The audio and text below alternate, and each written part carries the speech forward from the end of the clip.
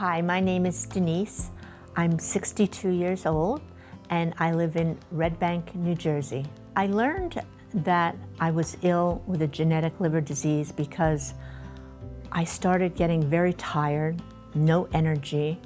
I started losing weight and finally went to the doctor and was diagnosed with this autoimmune liver disease um, over 40 years ago.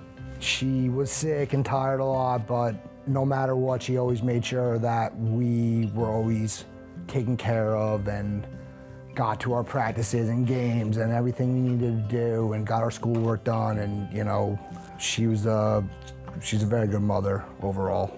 After over 22 years, 24 years of liver disease, the disease progressed and led to something called cirrhosis of the liver. And after that, there's no hope.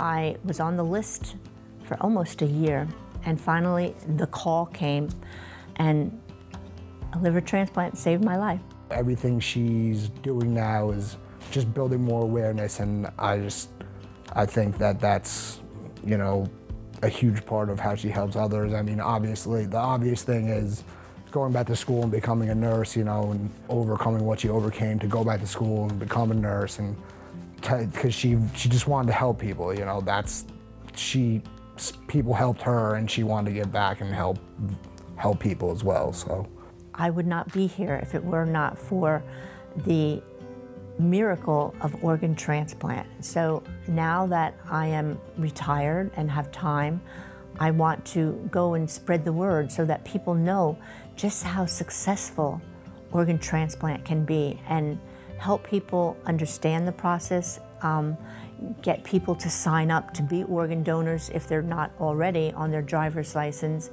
and let people know that this is a positive thing, a wonderful thing that saves lives. What she's done in the past year alone and the way that she tells her story and I think that's very inspiring for others and showing that like organ donation is not is not this like scary thing. It's it can be, it's life-saving.